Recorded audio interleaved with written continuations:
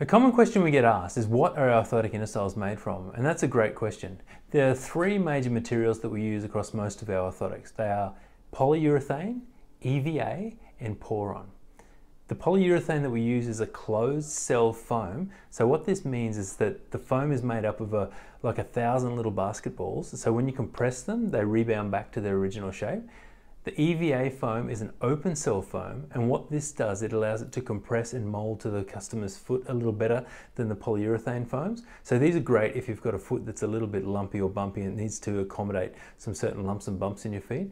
And Poron, lastly, is the product that we use to cushion the high impact areas such as the heel and the forefoot.